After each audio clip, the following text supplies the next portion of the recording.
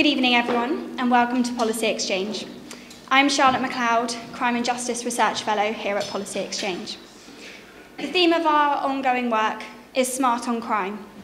Smarter in the allocation of resources across the criminal justice system, smart about how we change offender behaviour, and smarter about enabling the people working in the criminal justice system to innovate and foster new ideas. This evening, we will be hearing about a pioneering programme that does all three. This programme, created by this evening's speaker, delivers swift and certain punishment designed to change behaviour through the recognition that the swiftness and certainty of punishment is more important than severity. This is a key focus of our future work here at Policy Exchange. Judge Alm created Hawaii's Opportunity Probation with Enforcement Programme, more commonly known as HOPE, in 2004. Having achieved huge success in reducing reoffending, Hope-style probation programs are now operating in 17 other states across the US. Prior to being sworn in as a First Circuit judge in 2001, Judge Alm served as United States Attorney for the District of Hawaii for seven years, and as the Deputy Prosecuting Attorney for the City and County of Honolulu for the nine years previously. Alongside leading the HOPE program, Judge Alm presides over the First Circuit's Adult Drug Court program. In 2010, he was named the Jurist of the Year by the Hawaii Supreme Court Chief Justice. This evening, we will have a 30-minute presentation and will then open up the discussion for questions. Without further ado, please give a warm welcome to Judge Steven Alm.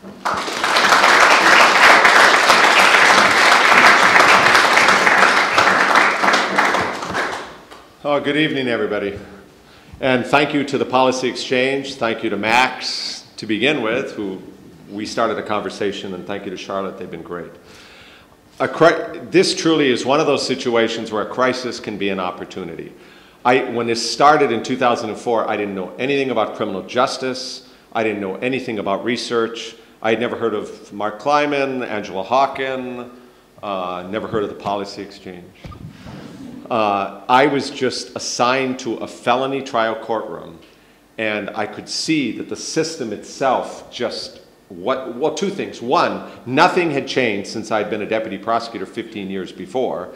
And two, I realized the, that the probation officers did not have a tool, did not have a system that really made sense to change behavior. So the first week in the courtroom, I, you know, this well, to give you an idea of what our situation looked like. And I was a local prosecutor, as was said. The last case I did at the prosecutor's office was the murder of a police officer. As the United States Attorney, the chief federal law enforcement officer, I tried to get the law enforcement agencies working together. I'm sure England's very different. In the United States, these agencies are bitterly in competition with each other. They're often in cutthroat situations. They will undermine each other. But getting them to work together and work with the local police was my number one priority.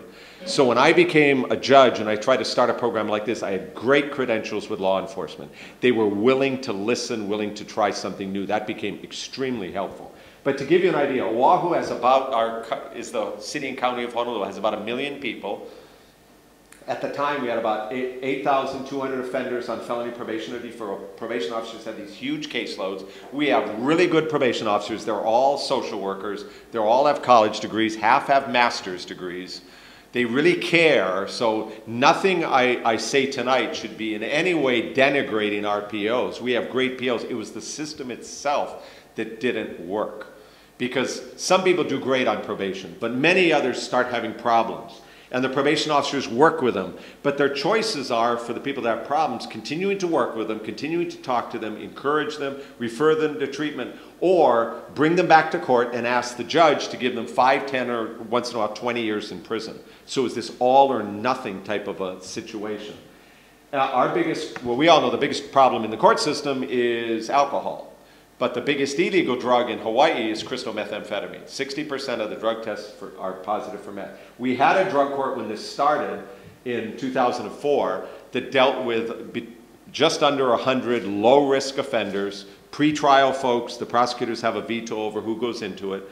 And so it was a very, you know, low-risk, not a real impactful situation. And we have thousands of people on probation who have drug and alcohol problems. So this was our situation. And the first week in court, I would get these motions to revoke probation. listing 10, 15, or more individual violations. And I saw the probation officers had finally given up, usually the person absconded. And then they would uh, write it up, took a couple of hours, get the person arrested, they get come into court, and they sit for 10 weeks in jail before the hearing, or they bail out immediately. So neither one is, is, an ideal situation. And then in virtually every case, the probation officer writes to me in the confidential letter, this person is not amenable to probation, send him or her to prison for five or 10 years. And I thought to myself, what a crazy way to try to change anybody's behavior. And I, and I really, I mean, that was the first week, and I thought, okay, what would work to change behavior? How, did my, how was my wife and I trying to raise our kid? How was I raised? Your, your parents tell you what the family rules are, and then if there's misbehavior, you do something immediately. That is how people learn to tie together a bad behavior, a bad choice with a consequence. And that's how this whole thing got started. And I thought if we could, a collaborative strategy, so thinking through, okay, what I wanted to do was deconstruct that motion to revoke and go back to the first violation and give them a jail sanction, but make it as short a sanction as possible to tie together the bad behavior with a consequence so they can learn from it just how we did it. And I thought jail is clear, it's certain, uh, it will get people's attention. And so that's how we started this whole thing. So somebody shows up at the probation office, tests positive, admits to it, I want to get them arrested on the spot. Go to jail, we have a hearing a couple of days later, and I'd let them out because they came to the courthouse knowing they had made a mistake, knowing they had messed up, but they were dealing with it responsibly. So that summer of 04 was just spent getting this all, thinking through that, getting it all organized. What are the moving parts we have to do to, to make it work? With the idea that a swift, certain, consistent, and proportionate consequences, that's what's going to change behavior.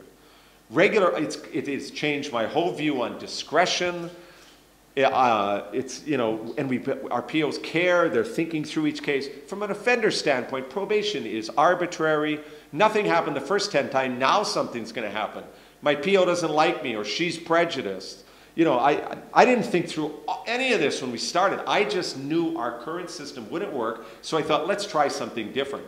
I, the only person I told about this, apart from the, the players, was the admin, administrative judge who was a friend of mine. I didn't tell the Chief Justice. I didn't tell anybody. Six months into this, a memo came from the, the office saying, if any judge wants to start a new program, please, let's, let's clear it with us first. but I am one of those folks, you do something and you ask for forgiveness later rather than asking for permission. We got no, we had no funding to start this. We're just asking people to work faster, work smarter and harder. That turned out to be a, a blessing in disguise because I travel a lot to talk about this program now, and a lot of people say, Judge, this sounds great. We'd really like to do it, but we don't have any money. I say, that's great. The good news is you don't need any extra money. You just need to have a commitment to do the hardest thing in the world, and that's change. I'm sure England's different from the United States, but people do not want to change. And a simple idea, if people are drug-free, and hope isn't only about drugs, but probably 85% of the cases in court involve either drugs and alcohol at the time or a history of it, so it's kind of hard to get away from it. I think it's more appropriate to think of hope as just probation on steroids. Or actually the way the public thinks probation now works. They do something wrong, there's a consequence, right? Uh, no. And it's not the probation officer's fault. It's there's no mechanism to do anything quicker. And so that summer, I, first I met with a woman from probation who was a supervisor of this high-risk unit. Anybody put in on uh, probation for a sex offense and not sent to prison is in her unit. The other half of her unit were people that started on regular probation but had real problems with drugs, went to treatment and failed, or, or, or succeeded at treatment but are still using. They got transferred from main branch to her unit. So I, you know, and I was concerned about concerns about cherry picking, you know, the drug courts get accused of, right? I've discovered since then most programs have criteria, the chief purpose of which is to keep the tough cases out of the program. And instinctively, I thought, if we're asking everybody to work smarter, harder, and do this, let's go after the people that are the most likely to fail, or the ones you want to watch closely, like the sex offenders. So Cheryl Noyes, head of this high-risk unit, I said to her, would you be willing to do this and work on this? She said yes. This program can be very threatening to POs. You're taking away their discretion, and they're used to having total discretion over how to handle the cases.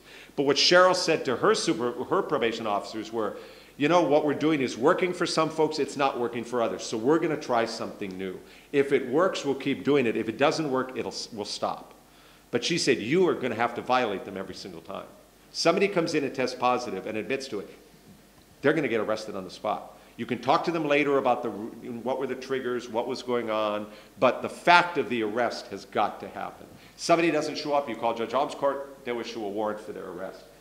I then met with a supervisor from the prosecutor's office and the public defender. The public defender said to me, Boy, this is going to be a tough sell back at the office. How's going to jail help somebody with a drug problem? Don't they need treatment? But again, a crisis can be an opportunity. We all recognize that what we were doing was not working for many people. The prosecutor uh, supervisor was there. I asked him uh, to, and I intentionally did not invite the prosecutor. I invited the head of the biggest trials division because the prosecutor was prosecutor when I was U.S. attorney. City prosecutor, U.S. attorney, there, there was a little bit of, you know, that issue going on. And so I, I asked the pro prosecutor supervisor, could you design a new form, a motion to revoke or modify probation that the POs can fill out in five minutes? Because if you're asking somebody to do something new, to work smarter and harder, you've got to make it as less labor intensive as possible. And I've, I've left copies of, of those here. Uh, the other thing the public defender said to me, you know, the rules are the same, but you're actually going to like enforce them for the first time. Can you let, warn our guys about that? And I thought, okay, that makes sense from a due process standpoint and a fairness standpoint.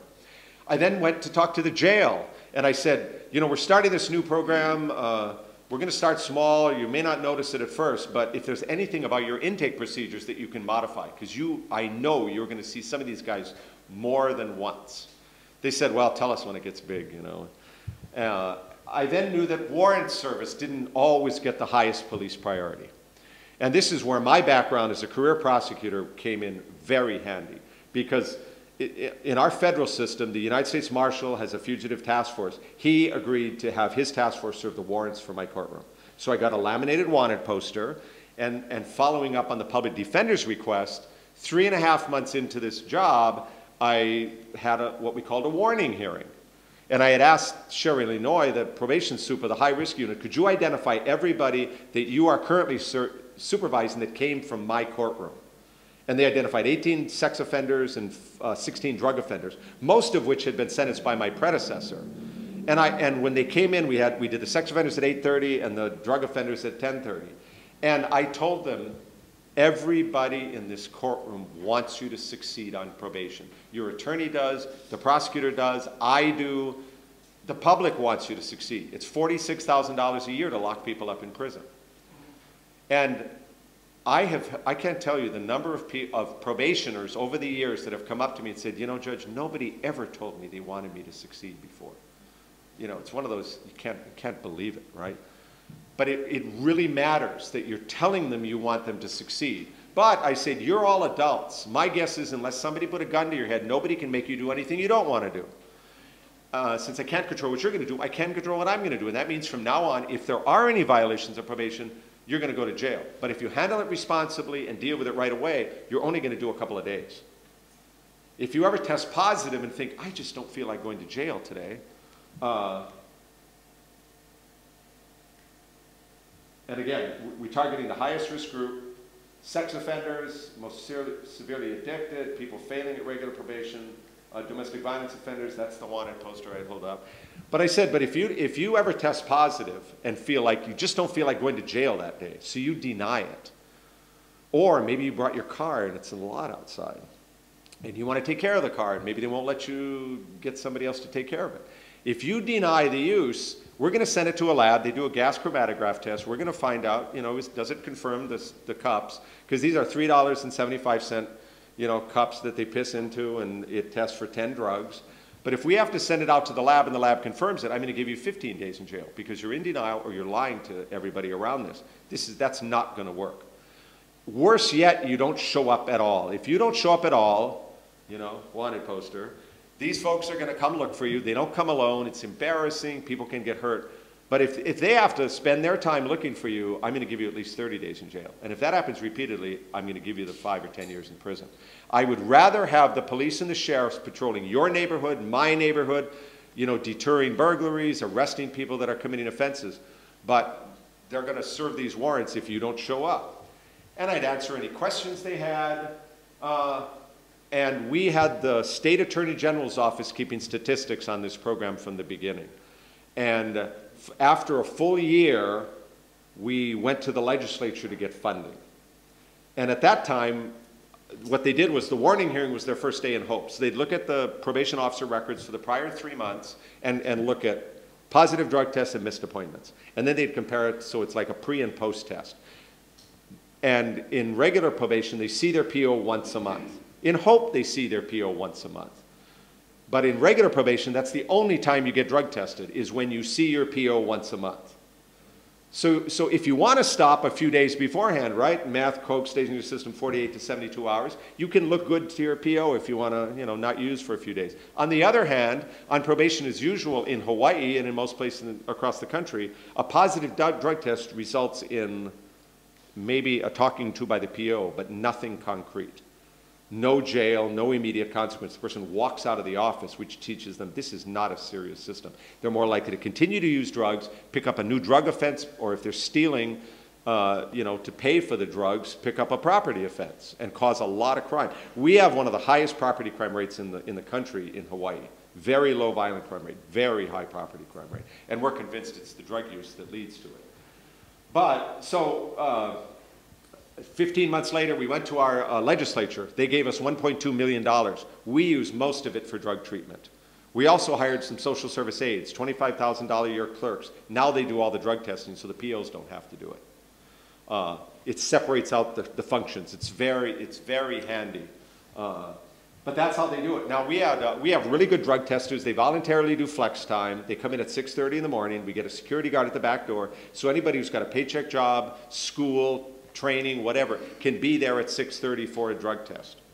Uh, we had one young lady, she had taped a vial to her rear end. These are observed urine tests, right? Males watching males, females watching females. She taped a vial to her end. She got caught. So she got arrested. When she came to court, I gave her 30 days for tampering. But I also told her, you know, you're going to have to find some new friends because that other sample was dirty too. right? What, what can you do? Who are her friends? Other drug users. Right? Okay, who's got some clean pee? I have to go to court. It didn't work. That's happened twice. Uh, and then they gave us the funding. And when they gave us the funding, we expanded to all 10 felony judges. And we all started doing hope. And I knew my colleagues that unless we individualized the results for each of the judges, I knew they would think, well, I'm sure my people are behaving because they listen to me. Now, the other judges' people, they may not listen to them. So I had the Attorney General's office keep separate stats for each of the judges. And by God, we all got this, approximately the same results. Positive pretests of between 35 and 55% all dropped to single digits. Between 15 and 20% missed appointments all dropped to single digits. Now, the judges were very different in essentially when they got lost patience and sent the person to prison. So, you know, there is a difference there. But otherwise, there's no operator effect, which the researchers were thrilled with. You know, no matter whether the judges really were enthused about this or not, as long as they followed through with the sanctioning, we, they got good results. And, I, and just to make sure that happened, the, the POs were going to court to watch. They don't come to court anymore. They just submit the paperwork and they meet their clients. They keep working. They love that. But at the time, they were watching all 10 judges. And if in the face of a legitimate violation, the judge did not give a jail sanction, they wrote me an email and the admin judge an email, and one of us would talk to that judge. In all the cases we did, there were maybe five times a judge did not give a sanction. And it was the same judge who just hated to send anybody to jail for a day. And what he never completely got is leniency is not kindness. Because if you don't follow through with what you say you're going to do, and, and you keep giving more chances, they're going to keep screwing up, and they're going to see that this is, the system is arbitrary, it's unfair. He still likes the program now. He's no longer doing it. Our Chief Judge Justice gave everybody a chance to drop out. Four judges dropped out. The other six wanted to keep doing it. And then a few years later, Dr. Hawken got a, a research grant from the National Institute of Justice and the Smith Richardson Foundation. Because there's an old joke in court, an expert witness is a guy from out of town with a briefcase, right? So when a woman from out of town with a briefcase came in, uh, she did a randomized control trial study, right? The top quality research. They identified 500 offenders in, in main branch probation, three quarters men, drug crime, violent crime, uh, property crime, average of 16 to 17 prior arrests. So they were people that probably were headed for, uh, for Cheryl Noy's high risk unit sooner or later, uh, but they were all having problems. And you know that so we you know it was a good it was a good cross section of folks there, uh, and she ran the names through a computer program, put two thirds of them into Hope, the other third were in probation as usual. We finally had a name for the program by then because we hadn't had a name for a long time. Uh, I, I, had a contest among the probation officers and court staff to come up with a name. We had a lot of entries. One of the first ones was Yank and Spank, which was the head of the sex crimes unit my 15-year-old son said, Dad, how about fail in jail? It's like, you know, there's some accuracy to this, but, but it's not aspirational enough. So when somebody finally suggested Hawaii's opportunity probation with enforcement, I thought that's great. It is a positive program. You know, when, when people hear about Hope, they say, oh, this program involving jail. It's like, well, yes, but, you know, if you set up a credible sanctions thing like this, you don't have to use it as much. And the defense bar was very nervous about this when he started. They are now the biggest supporters of this. They know their clients are not helped by a system where it's nothing, nothing, nothing, five years in prison. They, they absolutely love this. And we have a big dual diagnosis problem, right? Mental health and, and drugs. I'll tell those guys, you're supposed to take meds, right? Yes. If you don't take your meds, I'll put you in jail. Then they take their meds, everything else works better. Everything else works better. So this is what she did. And this is the results a year later. The, the, comparing the study group to the control group. 55% less likely to be arrested for new crime. It was amazing. 72% less likely to use drugs. And the Hope people are calling a drug test hotline every weekday morning. They're given a color for privacy purposes. Their color is going to come up once or twice a week. So they really are, you know, not knowing when they're going to get tested. This really helps them quit. We had one guy who's quoted in the paper saying, every night I think about that hotline and I think if I'm getting high, he goes, my color might come up tomorrow. I might have to go to jail tomorrow. He said, it just ruined the high. So we started handing that article out at the, at the warning hearings. Uh, because again, on regular probation, you see your PO once a month. You know when you're going to get tested, and you know nothing is likely to happen. It puts them at risk of getting arrested for new crimes or other offenses so much more. 61% less likely to skip appointments with their PO. Uh, but, you know, 53% less likely to have their probation revoked and go to prison. As a result, the, interesting, the jail bed days were neutral. The whole people went for all these short sanctions usually. On regular probation, they didn't get any of the short ones, but because they were getting arrested more often and revoked more often, our judges have the authority, if there's a revocation, to put them back on another four or five years of probation or send them to prison. Our judges would tend to put them back on probation, but give them like uh, six months or a year in jail as a condition of probation. So all those jail bed days were a wash. So all the savings are for prison, which we, we're lucky in Hawaii. We have a unified system. So the Department of Public Safety runs both the prison and the jail. So they can, you know, they, they see the big picture with that. Uh, but one of the fascinating things we've discovered is many, many people can stop using without going to treatment. And this offends some people. They refuse to believe it. Uh, but, you know, I always think of the example of uh, people, you know, we all know people who've quit smoking cigarettes, right? Did they go to treatment? No. And cigarettes are as addictive as anything we see in court. We just don't know enough about the human brain to know who can stop, who can't. So if they know they're going to go to jail every single time, most people stop on their own. So this is Dr. Hawken's research of the study group, right? The 340 people. They were all identified for this research program because they were active drug users. And 51% of, the, of those did not have a single positive test the first year. Most of them were not in treatment. I think about 20% end up going to treatment. And we are pro-treatment. And some people, when they talk about hope, just focus on this kind of stuff. And, and there's truth to this, but we are very pro-treatment. It's just, let's figure out who really needs it or who wants it and send them. The treatment programs in Hawaii love this. Because, because at the warning hearing, I'll ask them, when's the last time you used? You know, and I'll tell them, well, first I'll ask, how did you get here today? Because I want to find out who drove, who's got a car in the parking lot, where do you live on the island? Uh, and once in a while, guys say, Judge, I live on the other side of the island. It's going to be a real hassle to get here. I said, wow, you're right, it is. but how did we get here? Oh, yeah, you committed the felony, right? Everybody laughs in the courtroom, and he's, he's, yeah, okay. I guess if the alternative is prison, this is an okay deal. We're lucky we have a good bus system in Hawaii on our, off, on our island, so it may take them an hour, hour and a half to get there, but they can get there on the bus. But most people can stop using. So what we want to do is keep your treatment dollars for the ones down here, you know, the four, five, six people. So usually I'll give them two chances. If they say, Judge, it's been months. And then I'll tell them, okay, the, because I'm informing you today, I think it's only fair. If you used in the last few days, you get a free pass, today and today only. But if you drove, you're going to have to get somebody to pick up your car. We're not going to let you drive your car, but you're not going to go to jail today. You will in the future, but you're not today. The, we are convinced that the reason hope works as well as it does is the offenders feel they're being treated fairly. The whole concept of procedural justice, if people think the system is fair and equitable, they're much more likely to buy into it. And they see hope as fair. It starts with a warning hearing. I'm talking to them like adults. I'm telling them, you know, you didn't get sent to prison, you're on probation, so that's up to you to step it up and follow through. The probation is for people that want to be on probation. If you don't want to be on probation, you're not going to succeed, you're going to go to prison. But if you want to be on probation, we will work with you. We will help you. You need to go to treatment, don't feel shame. You probably have relatives who drink too much or smoke dope, and they're over there, you know, yeah, this is all sounding true to them.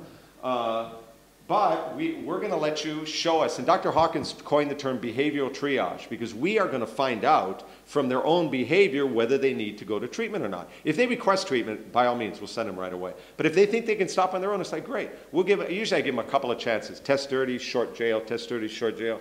You know, Mr. So how's that uh, stopping on your own working? Oh, not so good, Judge. Guess I got to go to treatment. Then when they go to the treatment program and they give them the ASI or the ACEs or whatever drug assessment they're giving them, they're much more likely to be honest about their history of drug and alcohol use because we've helped cut through denial with this. Otherwise, that is the problem with a lot of assessment tests, that they will, you know, misrepresent, they'll lie, they'll over-exaggerate or under-exaggerate. So, uh, short-term goals, reducing drug use, increasing attendance with the PO. Long-term is the motivation. We can have these external pressures. If they can internalize that and start doing it, then that's what they really need to succeed. So we expanded to all of the judges, and then when Dr. Hawken's results came out, the, the prosecutors in particular and the public defenders were complaining that with six judges doing it, you're going to get six different results, which is true. So I agreed to take all the cases. So I took all the other judges' hope cases, and then they had one place. We then went and got a federal grant for a year for more drug testers, but also for a dedicated prosecutor and public defender for a year. I told both officers, we got you the money for a person for one year, you got to fund this afterwards. So that's what's happened now. It came into my court, I'm the one doing it, we, we had a second judge. Uh, now, when I hit 2,000, because I only see them when they violate, after the warning hearing, I, I can supervise a huge number. A, a while back, I got up to 2,000. And now we have about 7,000 people on felony probation on Oahu. So I'm supervising quarter of them. And we have a second judge. When I hit 2,000, we had a second judge doing 200. He has his hearings in the afternoon, so hopefully we can be done by lunch or soon after that, and then the prosecutor and public defender go to the other judge to handle those hearings too. Uh, but same results, no operating effect. You know, uh, I have had maybe 20 contested hearings in nine years. And that's because they know they're going to get days or weeks in jail probably, and it's what happened recently. It's not something that happened a long time ago. So they admit to it. So I come into court, I turn to the defense, I'll say, how does your client want to handle it? Oh, she's going to admit, take responsibility. So I average hearing seven minutes long. Most of that is me talking to the offender. So what happened this time? You know, you were doing really well and then it went off the rails. You know, and maybe they're forced violation, but the first three were a year ago. So I may just give them a couple of days in jail you know, because they handled it responsibly. So typical sentences, three days for admissions, 15 for denials, 30 for warrant arrest.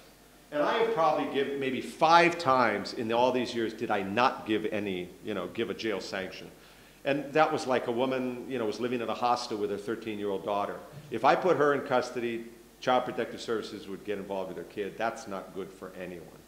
But the general thing has to be the offend, you know, all these probationers know if I mess up, there's going to be a consequence. But if I handle it responsibly, it's going to be short. So when Dr. Hawken, I think, in one of her trips, went into the jail to interview people, something like 70% of the people actually serving a hope sanction said, Yeah, it's strict, but it's fair. They told me, you know, if I use, I'm going to go, yeah, I'm here, but I'm here for five days. Yeah, I missed my kid's soccer game, but I, you know, that was my fault. I made a bad decision. She said she's never heard the language of personal responsibility like she heard it there.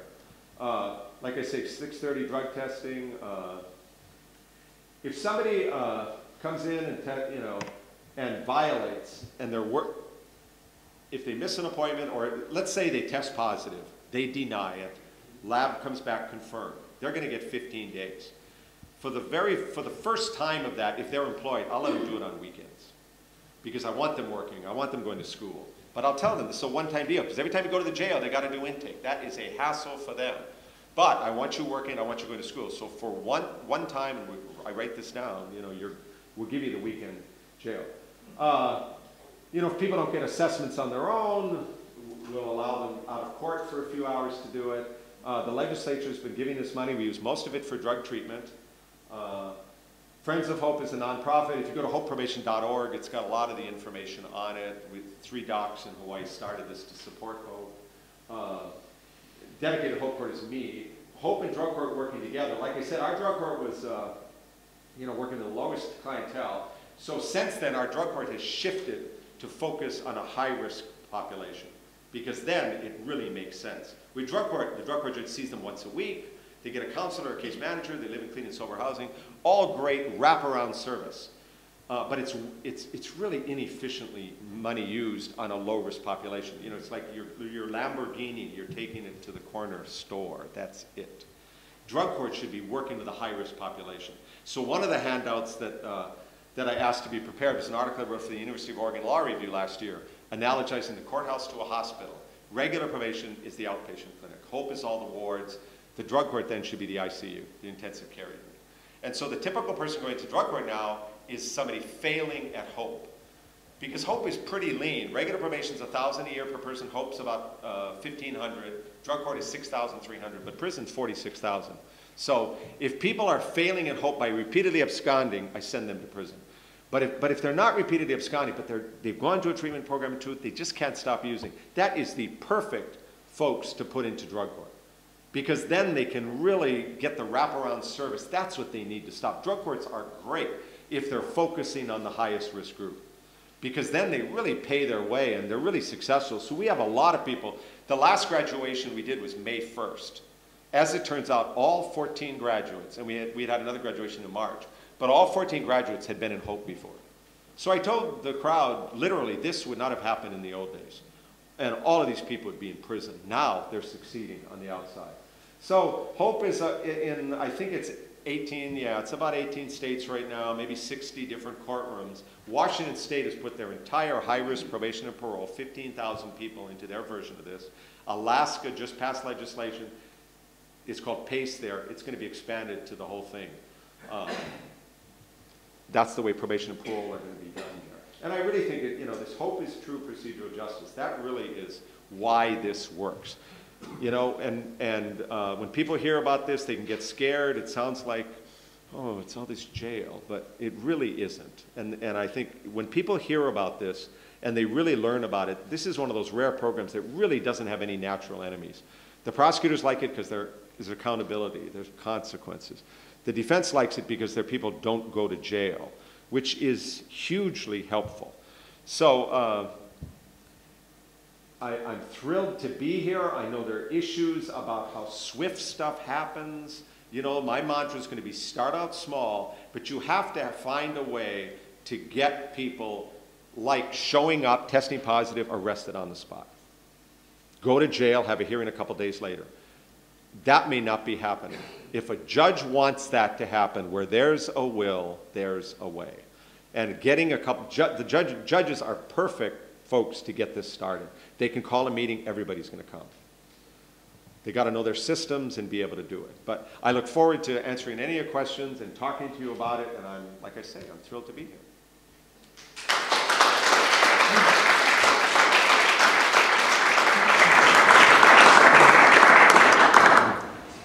Thank you to Judge Alm for that fascinating presentation. And before I open up for questions, if I can start off with asking one. Sure. In terms of how HOPE's been implemented in other states, Um, how important is it to stick to the original Hope model, or is there room to broaden that out and stick Well, to the principles? We don't know exactly why this works. We think it's swift and certain, we think it's proportionate. So the message is, if you do what we're doing, you can expect to get good results. If you don't do what we're doing, you can't. And we have seen that played out. And one of the key things, for example, is the sanctions piece. Washington State, when they wrote their legislation, uh, delegated the authority to the PO, probation or parole, to put the person in custody the first five, six times, but they could only give him three days of jail. They did not differentiate between coming in and admitting something and people absconding. So after three months into their program, they were looking at uh, $35 million savings for the first year because they were leasing beds from the local sheriffs around and they'd wait three or four weeks to have a hearing. Now they have a hearing the day they get arrested. Well, it, about, so they presented to the legislature, we're going to save all this money this year. Well, right around that time, the offenders all figured out, okay, I'm going to get three days, whether I show up in a to it or I go out and party and hang out and wait to get arrested. Their absconding rate started to really climb. And then we talked to them, they worked it out, so they, they did this thing 30 days, for, and then it started to go down again. But by then, of course, the legislature had already spent the 30 million, so their savings was going to be big, but it wasn't going to be quite, quite as big as that. So in, the past, they had 1,400 people on any one day waiting, in jail, waiting for a hearing. Then it went down to 400. Now it's at about 600, which is a lot better than 1,400, but it's higher than the other ones. So what we try to preach is, you know, since we don't know how this works, we urge you to do it this way. The only sanction should be jail. Down the road, if you, you know, try something else, maybe, but at first, do it this way. Have the hearings within two, within a couple of days. Some places have the hearing the day they pick the person up and give them a couple of days of jail. Ours, they get arrested, they go to jail, we have the hearing a couple of days later. It all depends. It, it- it's kind of nicer to do it later because they might be really high when they come in. So you have a hearing, you know, that's not the best time to have a hearing. But we, we are convinced fidelity to this model is huge. And that does concern me now. Swift and certain is on the language of all these legislators. You know, is it really swift? Is it really certain? Is it proportionate? Is it consistent? Because, you know, there's lots of ways to screw something up like this. You know, unless you have probation officers on board, judges on board, and law enforcement on board serving the extra warrants, this is not going to work. Let's open up for questions. Well, Uh, Will Tanner from the Um, I was just wondering, as to the public reaction and public appetite to this, um, and in some respects, um, I can understand the public might be quite supportive of something that certain um, justice, but at the same time, some of the aspects in some ways accommodate um, the lives and behaviours of offenders, which again may, may not be uh, supported by the public. So I was just wondering what the Overall, it- the, the, the newspapers are very supportive of this, the public is very supportive of this. The one group that can cause real mischief here are the prosecutors. Because if people in hope are gonna get charged with new crimes. And before, you know, anything else, the really violent, the dangerous, the ones who won't stop stealing, judges should be sending them to prison at sentencing. A program like this is not gonna be for those folks, for the professional criminals. But probably thirty percent people go to prison, seventy percent are gonna be on community supervision. We just gotta do a better job with them. But truly, if, uh, and so if somebody in Hope gets charged with a crime, like somebody did in Hope, uh, uh, there was a big dental hygienist conference. A person had had four Hope violations. He was on probation for possession of a small amount of drugs. So there's no question, if he wasn't in Hope, he would have been on probation as usual. He had four violations, and the other judge, the former public defender for the state, uh, had given him sanctions of one day, six days, 60 days, and 120 days. That's more than I would have given him. But the guy did his four months in jail, went out and saw the probation officer, and then that night apparently went out uh, drinking with this dental hygienist and her brother. He ends up having sex with her on the beach and strangles her. So he kills him. So the prosecutor, you know, who the guy who I didn't have this, uh, you know, initial meeting with, uh, he was interviewed by a reporter, and she talked about this, and, and uh, he goes, "Well, I'm really concerned about this program." And she said, "Why?" And he said, "He said because of this recent crime." And she goes, she said, "Yeah, but the research shows that people in Hope are getting arrested for new crimes a lot less often." And he goes, "Well, I don't care about numbers. I care about a body on the beach." Mm-hmm. And so, you know, two can play this game, right? So the reporter then would come back and talk to me, and I said, oh, these numbers, they're not just numbers, they represent real human beings. And half as many people are getting victimized on this program. So, and if, you know, and I can't talk about that specific case, right? I can't talk about any specific case, but the, you know, the message has to be, you can't look at any one thing, you'll have to look at the big picture. And clearly, people in this program are getting arrested for new crimes. So once we have stats, it's really helpful. But once, you know, you do that, uh, you've got to publicize it, you've got to keep following up with it, you've got to get the word out. Uh, I ended up um, in a fundraiser for a slain police officer. And the chief came up and said, God, I love this whole stuff. He said, I've added more uh, detectives to the uh, internal affairs unit because then they can come up with decisions faster. It's better for the officers, it's better for us. Then I met with some officers on the street and they said, you know, Judge Alm, we're kind of worried. We see a lot of warrants out there. And I explained how, well, you know, I've got like almost 2,000 people in this program now. So even if 90% are doing well, which is unheard of in a program, that means 10% are not. That means 19, you know, you've got 190 people testing dirty not showing up. But because of your folks' effort in serving the warrants, you're part of a system that's leading to half as many new arrests. And that means your investigators don't have to investigate as many burglaries and car thefts, which take hours and hours and hours. They said that's great, but you've got to tell our colleagues. So I had already worked it out. I go to every recruit class for the police academy to talk to them for an hour on this. Every sergeant's recall training, I talk to them and partly it's to educate them. In fact, you are going to see more hope warrants on this program. But that's part, you know, that's part of the deal. But you're part of a system that's really working. I then made arrangements and I worked it out with the office. I went to every police district for lineup, 6 a.m., 2 p.m., and 10 p.m. to thank them for their efforts and explain the big picture. I then went to the jail where they had a public safety for all three shifts for the same thing thanking them for their work in watching all these Hope people for the short time because they're saving the prison from getting them for years. But you have to thank people, you have to educate. So when I talk to other judges, I say, don't wait seven years into it to do like I did and go around and thank people. But it's a constant education process. And our current prosecutor complains there's too many hope warrants. It's like, you know, what's too many? There are more, but that's because we have so many people in the program. And that's what the cops get paid to do, serve warrants. You know, I get paid to have a lot more hearings. That's life. You know, I work 12 hours a day, so what? It, it works. That's why the system works. But it's constant re-education.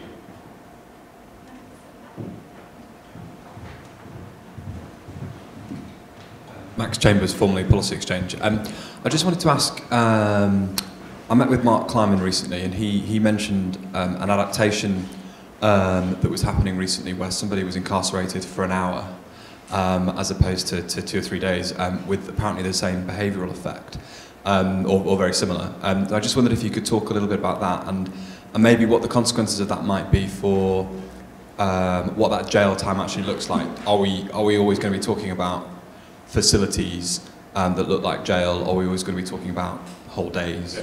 I, I would be surprised if there's any research showing that an hour is as effective as this other stuff. You know, just like I've heard of one program, they're, they're having the person sit in the jury box. You know, the jury box is for, it's a place of privilege, it's for citizens, the seats are more comfortable. I don't want these guys sitting in there looking at all the women in court and enjoying this, you know. What we have done along those lines is, if somebody's been in the program for a while and doing well, uh, and I talk about this at the morning hearing, if you miss an appointment or you miss a drug test, but you come in the very next day and test clean, I am much more likely to believe you really forgot. You know, and, and so if somebody misses a drug test or a PO point, the POs call them up. They, everybody's got a cell phone. They leave a message for them. Virtually everybody's cell phone. And to tell them, hey, get yourself in here. You missed something. If they come in the next day and do it, if they're working or going to school, we don't even arrest them if they come in the next day and test clean. We set the hearing on their next day off. And then when they come to court, I will give them a cell block sanction. But that means they sit in the, in the jail cell block until 3 o'clock in the afternoon. So it's several hours, they're still locked up, but they're doing well. I don't, you know, we've had a couple of places that have heard that, and so they started, you know, when somebody, you know, tests positive for drugs, I don't think that's appropriate. Think you really have to reserve that. Just like if you had a really robust uh, community service component, and you could make them do the community service that day, I think that, that might work, and that might be worthy of a, you know, the first offense or something. But you can't set it down the road. They may not show up, or the person running it may let them go home early, or, you know, it's, I, I think there, there's a certain clarity to jail. But a cell block sanction may be appropriate, uh, you know, if they've been doing well. Yeah, you had a question? Uh. Uh, Hi, my name's Rob Allen. Um, I'm an independent researcher, and, and I, I I think uh, about three months ago, one of your colleagues was here talking about this and a couple of other programs, I think, and I, I, I'm going to ask you the same question I asked Okay. him, which is, it's, it's about the applicability of this kind of thing in our culture, which is rather different. I mean, and I, and I have had a look, couple of looks at, the, at, at some of the papers on this. Um, and, and I think the research suggests that the external validity of this may be questionable because of the very particular circumstances in which you have in, in Hawaii. You, so large numbers of these offenders addicted to this particular drug, almost all from one uh, ethnic group, I think. Uh, uh, your general rate of imprisonment is three or four times ours. I think you have a third or a quarter of your prisoners in Arizona or somewhere. Uh, so the thresholds about, of decision making about how the criminal justice system engages with wrongdoing are totally different in your, in your country than they are here. And I suppose I'm just uh, it, the, the, the results are impressive. Don't get me wrong. I, I you know, I, I'm not going to argue with your results, but I'm just going to say I'm not sure we need to go down this road uh, in this country because we've got a different way of doing things. Okay, well, that's what, uh, you know, I hear that from other states. You know, and my feeling is human nature is more similar everywhere than it is different. And when I started this program, people told me, this is never going to work with people that have gone to prison or, spent- you know, they can do jail standing in their head. Yeah, they can when they have to, but they don't want to do it today.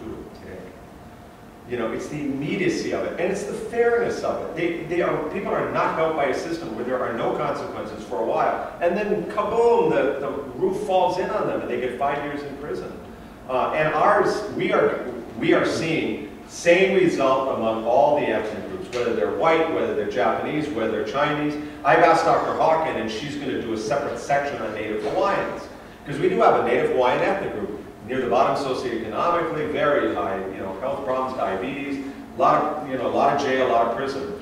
This is a rising tide helps all ships. I am convinced it's going to show they do so much better on this than on probation. And you always got to ask, what is the alternative? If it's not hope, they're going to be on probation as usual. And if a lot of them are failing at that and then going to prison, my question always is, why not try it? If it works, great. If it doesn't, don't do it. And your culture may be that people are not given, you know, jail consequences for things. But my guess is they're having a lot of offending, you know, and, and they don't see the system as very serious. They see it as arbitrary. Nothing happened the first 10 times. Now something happens. My PO's prejudice, or she doesn't like me, or the judge is having a bad day. My whole view of discretion has totally changed. You may be right, it may not work here, but I think the only way to find out is to actually do it. And, but that's what's hard about, you know, when politicians hear about something that can save a lot of money, they're going to say, well, let's do it everywhere. That is not the way to do this. This sounds, as one of the defendants in court told me, Judge, this program, is, you know, it's, it's simple, but it's not easy. And I think that's really accurate. It's getting all the moving parts in place. If you can't get all the parts working to have these swift and certain sanctions with, you know, and guys get held right away and stuff, don't bother even trying it. Because otherwise, there's no connection between something that happened weeks ago. Because maybe they, that is the last time they used. And in the meantime, they've really stopped. Well, now you're going to punish them for something they did a month ago.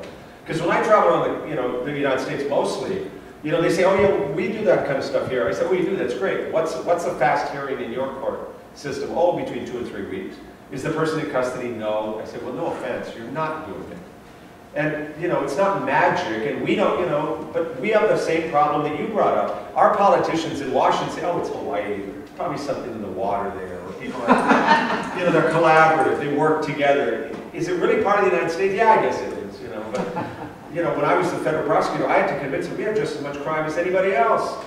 You know, not, everybody just doesn't sit around under palm trees and drink Mai Tais. I mean, it's, you know, it, I think people are similar. That's why the Justice Department is sponsoring these replications in Texas, Arkansas, Massachusetts, and Oregon, as an example. But Dr. Hawken, every place seems to work about the same way. And that, that graph I showed you about the numbers, that's duplicated every place they do this.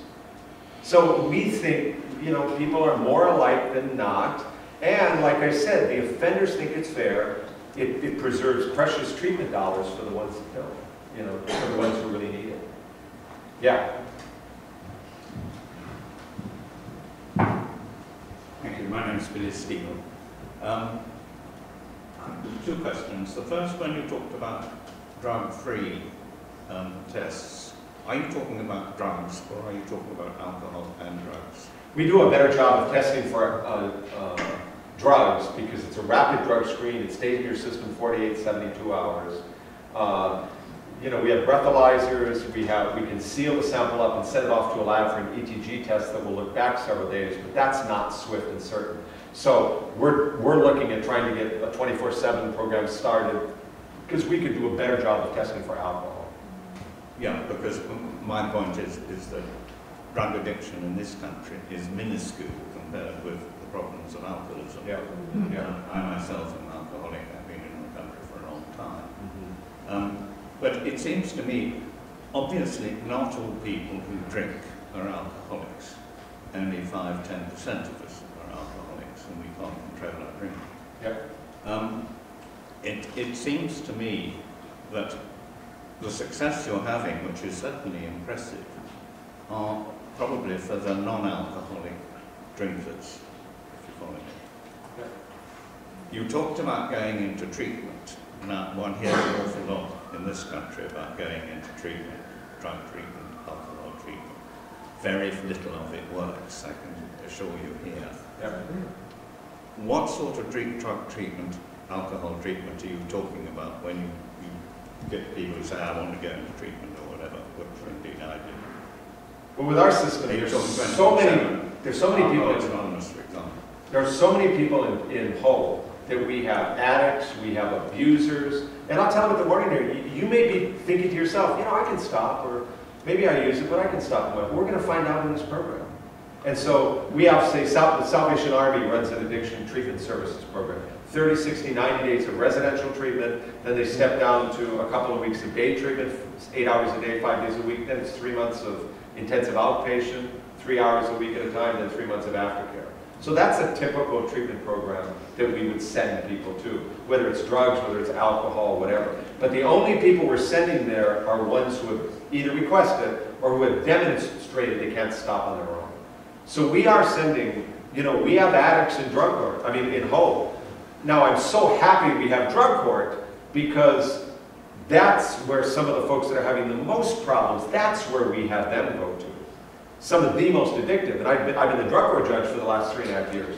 And that we've, so we've made this, this real continuum for that. So, you know, alcohol is a big problem. We have, we have alcoholics, they can't stop, we send them to treatment. We, you know, the AANA, we're, we're, we're waiting to see, Dr. Hawken is doing follow-up research as we speak. The report should come out this summer. They're, they're, they're interviewing all these people that have finished probation or off there, you know, just out in society. We, they have a 19-page questionnaire. They're so excited about looking at this group. And we will find out, if we find out that, you know, AANA meetings are a common denominator of the success stories, I'll start ordering that all the time. I don't right now, because if you, I do it some of the time, but if you order it, we've got to make them, you know, bring, bring in the sheets, and then we're going to sanction them. You know, so I'm, you know, I'm, I'm a little reluctant to order it in all cases now. But we think it works with both. And the last question to wrap up. Hi, I'm uh, Martin Tunstall from the Mayor's Office for Policing and Crime. Um, I think it's true that we do have a different system in the UK, um, and I think it's. I'm sorry, what was it? Uh, so I think it's true that we do have a different approach in the UK, um, and I think if you look at the evidence and the evidence that you presented, it's pretty clear that our approach doesn't really work. Um, we are trying at the moment to introduce a compulsory sobriety, alcohol sobriety scheme for London. And it's been a real challenge to try and implement some of the principles that you've talked about, that Keith Humphreys talked about when he was last here. Um, we're making some progress. But um, my question is, we've got a lot of people on community sentences in the UK. Um, obviously, you've been focusing mainly on compliance with drug um, offenders. I just wonder whether you think this kind of approach has something to speak to those offenders as well. I, I think it, it works whatever the issues are. We have people that have drug and alcohol issues. We have people that don't have either one. Sex offenders are the one category they automatically get put in home. Every single sex offender on Oahu who's not in prison and is on probation is in the program. And it just means seeing your probation officer. It means going to your sex offender treatment classes. It means going to your polygraphs as a condition of that. Uh, and if they don't do that, we will give them a sanction. But it's knowing the sanction is there is what gets folks to comply. Six months into this program, I heard from both a guy running a batterers group for domestic violence and from the guy, one of the guys running a sex offender treatment program. They both said to me, whatever it is you're doing, we like because we can tell who's in the program and who's not. They talk, you know, the personal responsibility, the accountability is there that's missing on the other, you know, for the folks that aren't in it. So it's, it's the only thing, once in a while, a probation officer, because right now people can get put into Hope either because at sentencing, the judge thinks this person's had a history of non-compliance or they're, they're, they're a drug user, an alcoholic, let's put them in Hope. So they send it to me, I always say yes. Uh, as far as coming in, the only thing I'm looking for is, was this person's record bad enough that I would have sent them to prison and sentencing? Because if so, at the warning hearing, I'll tell them, "Well, no offense, Mr. X, but uh, with your, like Jesse James Bates Jr., right? There's a parent who doesn't him. Uh, I said, if you, if you run away even once, abscond once, I'm going to send you to prison for the five or 10 years. The best predictor of future behavior is bad behavior. If you guys lent somebody some money and he didn't pay you back, regardless of what you're going to do to that guy, I guarantee you're never going to let them money again. And they're like, right. So I said, everything else about this applies the same way. Testing dirty a few days, the other's 15. But you abscond even once, you go to prison. And that's what, you know, but if you can go two years without a single violation, I'll terminate your probation early. And, and so for, for, for folks like that, they, respond to it the same way. Now I make it, you know, the other way people get into hope is they start on probation as usual. They start having problems. The PO sends an email to the original judge saying they're having problems. Is it okay if we transfer the case to Judge Alm and put them into hope? And they say, okay, then I do a warning hearing for that one person. So sometimes the PO will complain to me, you know, Judge Alm, Judge so-and-so put somebody into hope, they're kind of low risk, they probably don't need it. It's kind of like, there's no harm, no foul. The only extra, they don't see the PO any more often. The only extra work is the drug testers have to test them more often. But if they go two months without a single violation, they're given a new color, they test half as often, two more months half as often again, they're down to once or twice a month. So there's almost, there's almost nobody who's found who's bad for this. Uh, eventually, I want to get to the point where either they're banked, they're minimally supervised, or they're involved. Okay, thank you for all of your questions and please join me in showing our thanks and appreciation to John.